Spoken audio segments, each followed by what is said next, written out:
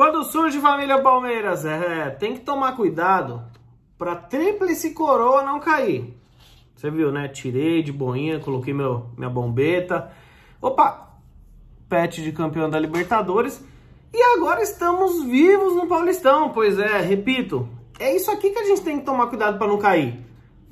Agora, cair na fase de grupo do Paulista tá em aberto. Eu até achava que a gente não tinha mais chance. Agora estamos a três pontos do Novo Horizontino com seis pontos em disputa. E aí, torcedor?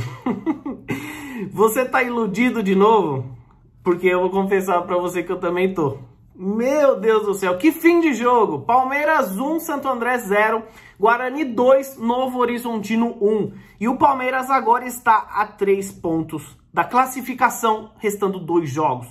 Bragantino com 11 jogos tem 22 pontos.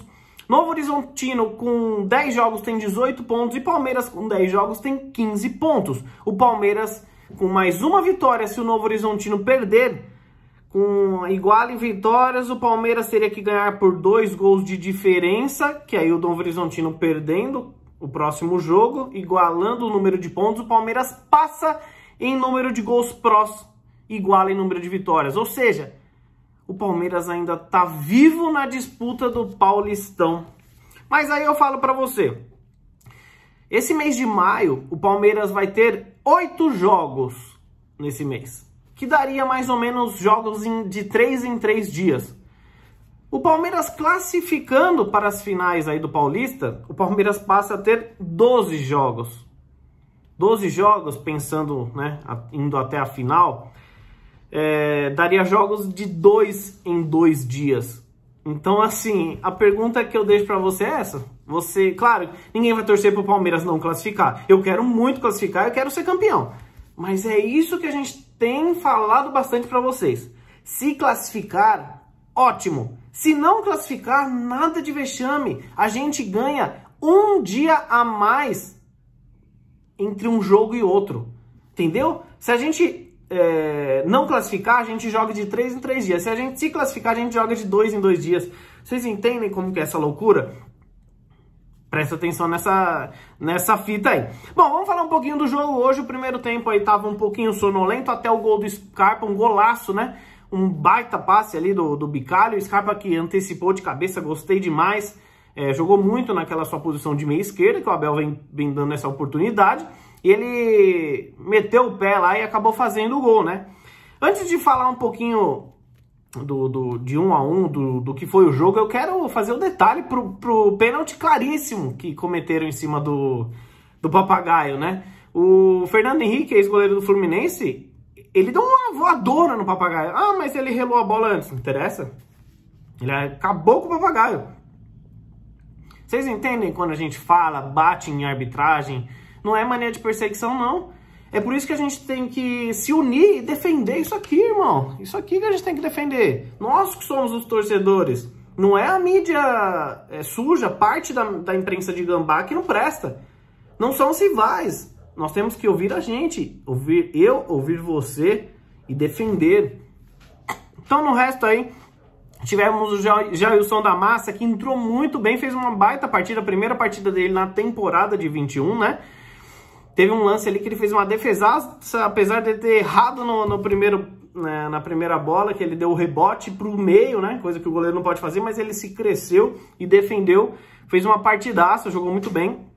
O trio de defensores ali com Garcia, Henry e Vanderlan. Vanderlan fez o básico, não, não apareceu tanto, mas taticamente foi importante. O Henry é, uma coisa que eu notei, apesar de, dele estar nervoso em alguns momentos, mas já ter evoluído e melhorado, eu notei que cada bola que o Henry pegava ou dava um, um encontrão, parte do banco de reserva gritava, apoiava ele. Não sei se vocês tiveram essa mesma impressão. Como a gente jogou num, num estádio sem som, é, deu para ouvir muito o que o banco de reservas fazia, né? Falava. Inclusive teve até uma hora que o Abel deu uma bronca, ninguém entendeu para quem, mas falando, pô, finaliza, domina e bate tem que ter mais força, né? Tipo, força de vontade. Ele deu uma bronca ali.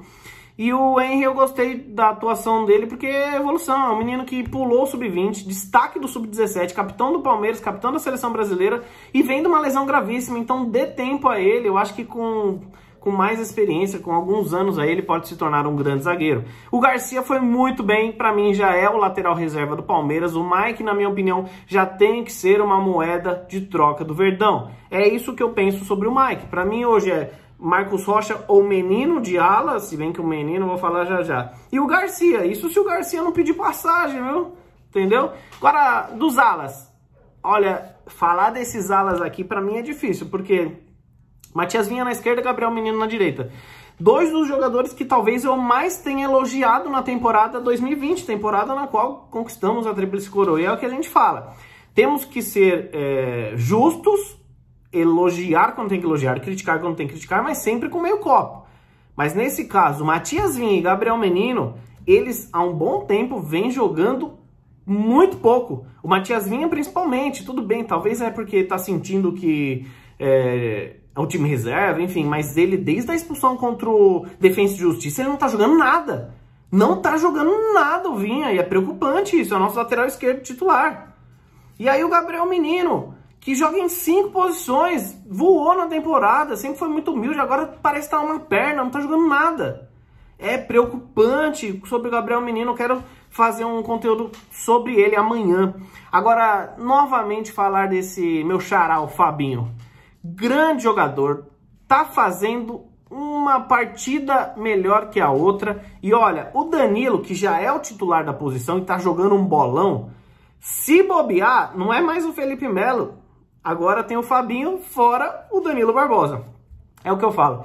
Tem certas posições que a gente tem que dar graças a Deus de estar é, sendo bem é, trabalhado e, e, e, com boas peças, né? Primeiro volante ali a gente tem Fabinho, Danilo, Felipe Melo, Danilo Barbosa, nós temos ótimas peças. E o Pedro Bicari, que é um monstro também. Claro, precisa melhorar um pouco mais a saída de bola, a retomada, né? É, porque ele é um jogador que está iniciando a sua fase agora no profissional, mas também é um jogador meio pesado. Talvez com mais ritmo, com mais treinamento intenso aí, ele possa melhorar, mas ele tem um passe, um segundo passe muito bom. Então é mais um jogador de segundo volante que a gente pode ter é, muitos bons frutos aí durante a temporada, tá? Não é à toa que ele foi inscrito na lista A do Palmeiras para esse Paulistão. Gustavo Scarpa, como falamos, fez um bom jogo, ele vem evoluindo na posição dele. Meia esquerda, Gustavo Scarpa chegou em 17, teve aqueles problemas é, jurídicos, ficou de fora por muito tempo, mas porra, 17, 18, 19, 20, 21, quase 5 anos de Palmeiras e a gente sempre pediu ele para atuar na meia esquerda. E os, e os técnicos sempre colocavam ele de ponta direita, porque ele cortava para bater de esquerda e não, não rolava. Tudo bem que ele jogava assim no, no Fluminense por certas ocasiões, mas o Scarpa é nosso meia esquerda. E a dupla ali de ataque, Elias, Rafael Elias, vulgo Papagaio e Giovanni Giovanni, é, eu acho que com o passar do tempo ele vai evoluir mais, precisa fazer aquele gol para ele se soltar mais, só que é rabisqueiro, taticamente o Giovanni é muito importante, não é aquele jogador que, é, quando ele não chama tanta atenção no individual, porque ele é individualista também, ele chama muita atenção no tático, porque ele também joga muito para a equipe, então às vezes se você vê ele um pouco sumido, é, falando individualmente, é porque ele tá atuando taticamente para a equipe. O papagaio não dá, infelizmente, né? Para mim, Lucas Esteves papagaio não tem condições de vestir a camisa do Palmeiras.